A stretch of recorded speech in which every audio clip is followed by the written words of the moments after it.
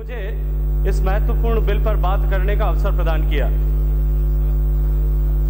सभापति महोदय, भारत वंश के लोग, अनेक वर्षों से ऐसा दुनिया में कोई भी देश नहीं होगा जहाँ भारत का कोई न कोई व्यक्ति मौजूद नहीं है।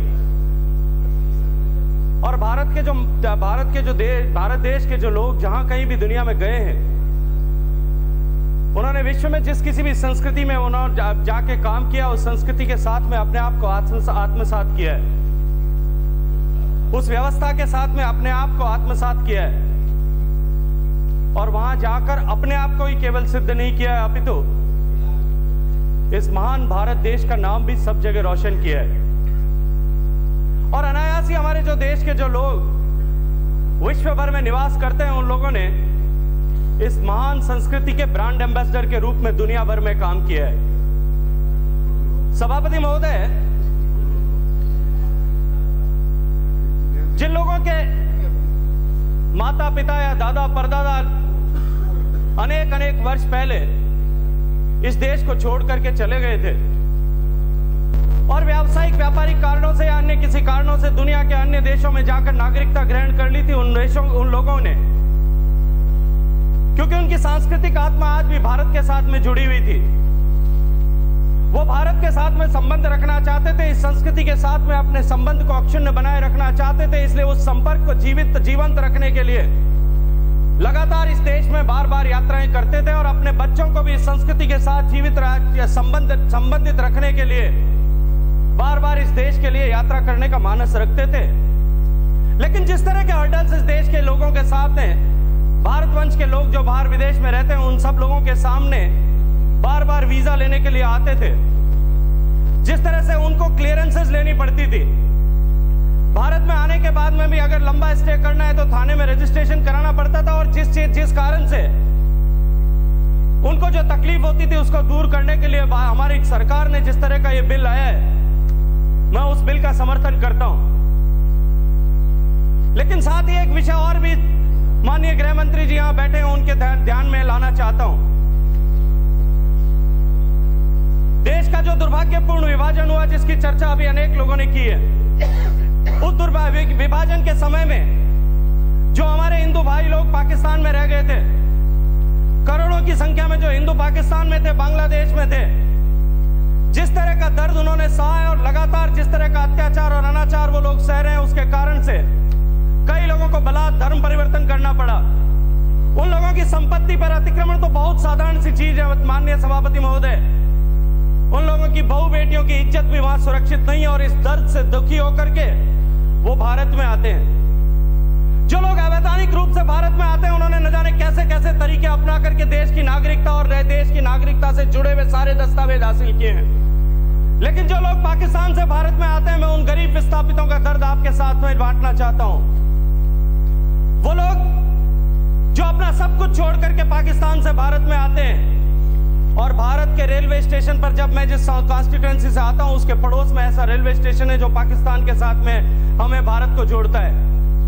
जब हम मुनाबाव के रेलवे स्टेशन पर आते हैं, तब एकमात्र ऐसा रेलवे स्टेशन है माननीय सभापति महोदय। भारत का लोग आदमी यदि कोई विदेश से आता है, दुनिया के किसी भी एयरपोर्ट पर आता है तो उसको तमाम तरह की सुविधाएँ मिलती है। उसके लिए कोई सर्टेन नॉर्म्स है कि वो इतनी संपत्ति, इतने मूल्य की संपत्ति जो हाथ में पहना हुआ गहना है, वो लेके आ सकता है। लेकिन जब रेलवे स्टेशन पर वो गरीब, वहाँ से दुखी होकर के और अत्याचार और अनाचार को सह करके जब इस हिंदुस्तान में आता है, तब कस्टम के लोग उसका पहना हुआ सोना भी खुलवा देते हैं। उसको भी जब्त कर लिया जाता है। वो जब हिंदुस्तान में आता है महोदय, उसको सात साल तक हिंदुस्तान की नागरिकता नहीं प्रदान की जाती।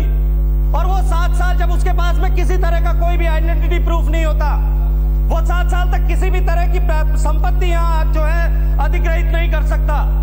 वो सात साल तक बिना किसी भी आइडेंटिटी प्रूफ प्रूफ के किसी भी जगह पे जाके नौकरी नहीं कर सकता। वो सात साल तक दर दर की ठोकरें खाने को मजबूर रहता है माननीय सभापति महोदय। माननीय सभापति महोदय मैं सिर्फ़ दो मिनट लेना चाहता हूँ। डेढ़ लाख दो लाख लोगों के ऐसे दर्द को आपके साथ बांट रहा हूँ कि जब वो जब जब वो देश में सात साल तक कोई काम नहीं कर सकता उसकी आजीविका का कोई साधन नहीं है। उसके बच्चों को भीख मांग करके खाना खाने को मजबूर होना पड़ता है। और ऐसे में भी सबसे क्रूर उस समय होता है जब उसकी नागरिकता का सात साल पूरा होने के बाद आवेदन करने का समय आता है सभापति महोदय। पाँच सौ रुपए मात्र फ़ीस हुआ करती थी पहले। जो पाँच सौ रुपए वो बड़ी मुश्किल से इकट्ठा करता था। माननीय सभापति महोदय, दस हज़ार से लेकर पंद्रह हज़ार रुपए तक विभिन्न आइटम्स में फ़ीस लागू कर दी गई है। आप जरा कल्पना कीजिए सदन से अब ध्यान चाहता हूँ।